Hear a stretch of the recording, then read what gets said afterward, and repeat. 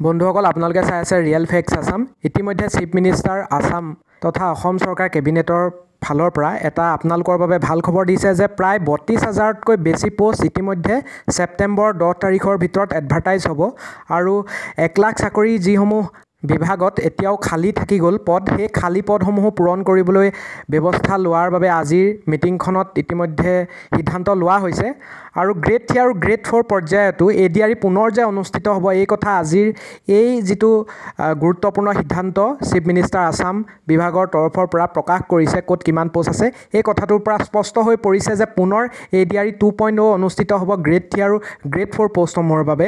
আৰু additional list A D R E one point zero' এই যিসমূহ ইতিমধ্যে ছাব্বিছ হাজাৰ পষ্টৰ বাবে অনুষ্ঠিত হৈ গ'ল A D R E Assam direct ৰিক্ৰুইটমেণ্টৰ তাত এডিশ্যনেল লিষ্টত কিমান পষ্ট থাকিব এই মুহূৰ্তলৈকে কোনো প্ৰকাশ কৰা নাই। হয়তো কেবিনেট বৈঠকতো পৰৱৰ্তী সময়ৰ প্ৰকাশ কৰা হ'ব যিহেতু জুলাই মাহৰ ভিতৰতে আপোনালোকক সকলো জনোৱা হ'ব বুলি কোৱা হৈছিলে। আজি এতিয়া এই মুহূৰ্তলৈকে কোনো ধৰণৰ তেনেকুৱা আপডেট দিয়া নাই যে এডিশ্যনেল লিষ্ট কোন তাৰিখে প্ৰকাশ পাব আৰু কিমান পষ্ট আঠশ পঁয়ত্ৰিছগৰাকী হ'বনে আৰু তাত পষ্ট ইনক্ৰিজ কৰা হ'ব।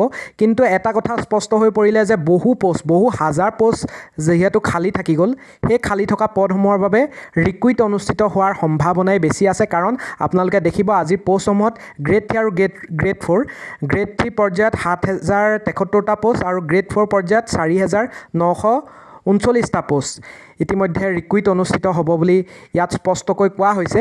ইয়াৰ পৰা এটা কথা স্পষ্টকৈ বুজা যায় যে এই আজি যিসমূহ ডাটা দিয়া হ'ল তাৰ আগলৈকে কিন্তু গ্ৰেড থ্ৰী আৰু গ্ৰেড ফ'ৰ পৰ্যায়ত যিখন তালিকা দিছিলে চৰকাৰৰ তৰফৰ পৰা পাব্লিছ কৰিছিলে প্ৰকাশ কৰিছিলে তাত কিন্তু গ্ৰেড থ্ৰী আৰু গ্ৰেড ফ'ৰৰ পষ্টৰ সংখ্যা যথেষ্ট কম আছিল। কিন্তু আজি আপোনালোকে দেখিছে সাত হেজাৰ তেসত্তৰ আৰু গ্ৰেড ফ'ৰত ওলাই গ'ল চাৰি হেজাৰ নশ ঊনচল্লিছটা পষ্ট অৰ্থাৎ যিসমূহ খালী পষ্ট থাকিলে সেইসমূহো যোগ কৰি দিয়া হৈছে নতুনকৈ ৰিকুইট অনুষ্ঠিত কৰাৰ বাবে। এতিয়া কথা হ'ল চৰকাৰে আগৰ গতেই যদি সকলো পৰীক্ষা অনুষ্ঠিত কৰে আকৌ অভাৰলেপিং কৰে তেনেহ'লে কিন্তু এক লাখ এক লাখেই হৈ থাকিব। গতিকে চৰকাৰে প্ৰথম অৱস্থাত এ ডি আৰ ই অনুষ্ঠিত কৰি যিসমূহ সমস্যাৰ সন্মুখীন হ'ব লগা হ'ল প্ৰাৰ্থীসকল সেইখিনি যাতে অলপ মনোনিৱেশ কৰি এই সমস্যাখিনি পুনৰবাৰ যাতে নকৰে তাৰ ওপৰত যাতে গুৰুত্ব ৰাখে সেইটো এটা লক্ষণীয় দিশ হ'ব।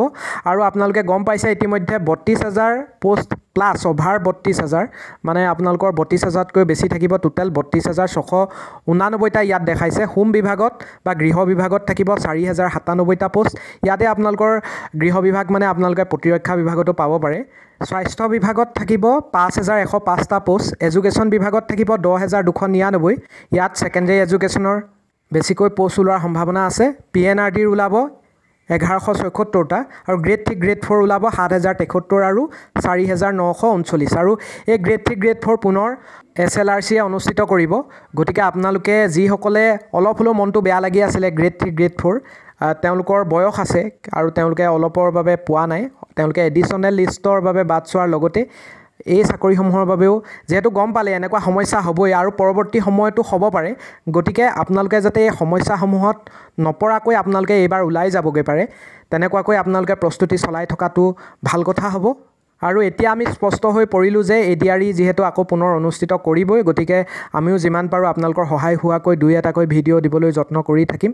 আৰু এডিশ্যনেল লিষ্ট সম্পৰ্কত কিবা যদি নতুন আপডেট আহে এনেও আপোনালোকে হয়তো আজি যদি প্ৰকাশ নকৰে তেনেহ'লে আপোনালোকে পৰৱৰ্তী সময়ৰ কেবিনেট বৈঠকখনলৈ ৰ'ব লাগিব।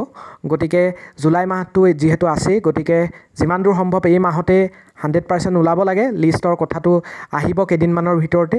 গতিকে আপোনালোকে ৱেইট কৰক আৰু তাৰ সমান্তৰালকৈ আপোনালোকে যিহেতু এতিয়া গম পাই গ'ল ক'ত ক'ত কিমান পষ্ট থাকিব সেইসমূহ পষ্টক টাৰ্গেট কৰি আপোনালোকে জোৰদাৰ প্ৰিপেৰেশ্যন আৰম্ভ কৰি দিয়ক।